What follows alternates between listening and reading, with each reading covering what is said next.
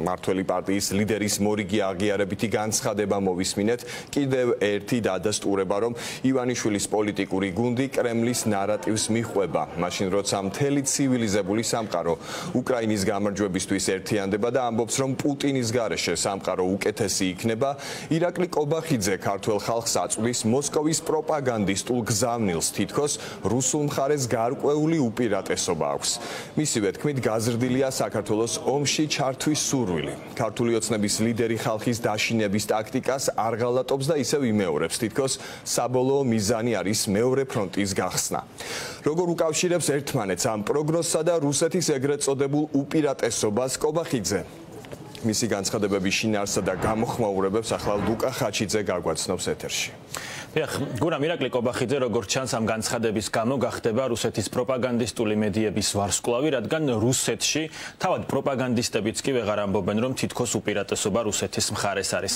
მართველი გუნდის თავმჯდომარე ამტკიცებს, რომ ეს შეფასება ემყარება ფაქტებს და რომ თითქოს უკრაინელი მაღალჩინოსნები თავად აღიარებენ რუსეთის უპირატესობას.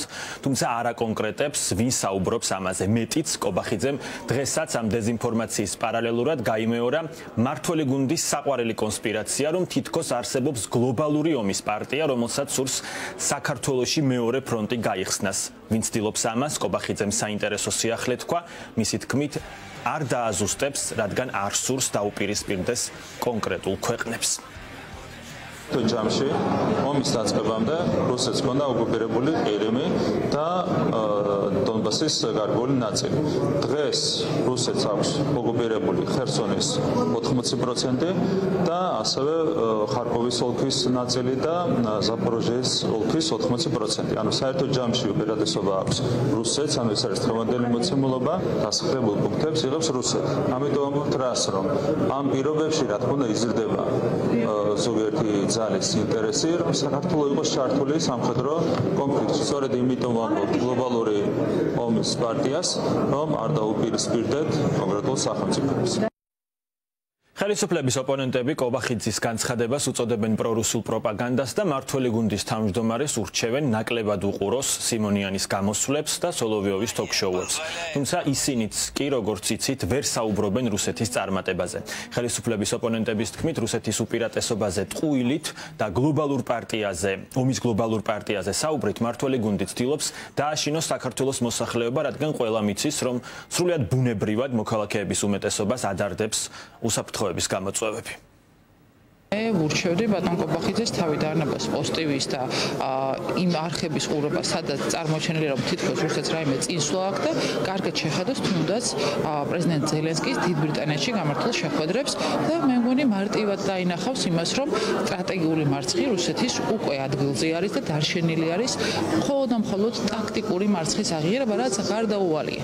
და ამ პოლიტიკით ბატონ კობახიძეს და მის გუნდს საქართველოს მიყავს დამარცხებული ფედერალური რუსეთისგან, რაც არ გამოვა, შეუძლებელია. როგორ ჩანს, ყობახიძე მიიღო შესაბამისი ინსტრუქციები ქართული ოცნების მართველებისგან მოსკოვში, რა უნდა ესაუბრო დღეს ქართულ ხალხს. სარგებლობენ იმით, რომ დღეს ჩვენ საზოგადოებაში ცხადია უსაფრთხოების გამოწვევები არის ერთ-ერთი მთავარი პრიორიტეტი და ატყუებენ ჩვენს თანამოქალაქეებს, რომ თითქოს ვიღაცას სურს საქართველოსი მეორე ფრონტის გა გახსნა. არ ვიცი მე კობახიძე რა რას უყურებს, შეიძლება მხოლოდ NTV-ს უყურებს, ანუ RT-ს და იქიდან გამოიტანა დასკვნა ან იმას, რაღაც ალავი ორი რო არის ერთი რაღაცა. გებელსის წარჩინებული მოწაფე იმას უყურებს თორე რეალობას თუ შევხედავთ. არნაირი უპირატესობა რუსეთს არ აქვს. გაიბანა მთელი მსოფლიო რომ ჩვენ ვისთან ვართ, რუსეთისკენ ვართ თუ უკრაინისკენ ვართ, თუ საერთოდ ევროპა გვინდა თუ მართლა იქ რაღაცა ამ ნახევრად ჩაძირული რუსეთისკენ მივდივართ. ირაკლი კობახიძემ კი არა, თავად უკრაინის წარმომადგენლები საუბრობენ ამ ეტაპისთვის, რომ რუსეთმა მცირე უპირატესობა მოიპოვა, ესეც ყველაფრის ნათელია და რატო გაქვთ ხოლმე ესეთი ჩასაფრებული პოზიცია, რომ თითქოს ამით პოზიციას გამოხატავს, რომ თითქოს კობახიძე დაინტერესებულია რუსეთის გამარჯვებაში. აი ეს არის მიუღებელი და ეს შეფასებებში ამას გულისხმობ, რომ ფაქტს როცა აღვრიშნავ, ესე იგი გამოდის, რომ ვიღაცის მხარეს ახად კობახიძის განცხადება, რომ დეзинფორმაცია დასტურდება მაგალითად ომის შესწავლის ინსტიტუტის ცნობითაც, რომლის მიხედვითაც უკრაინას აქვს ინიციატივა მანევრების კუთხით და მთელ რიგ მიმართულებებზე აწარმოებს ან ახლა იწყებს კონტრშეტევას.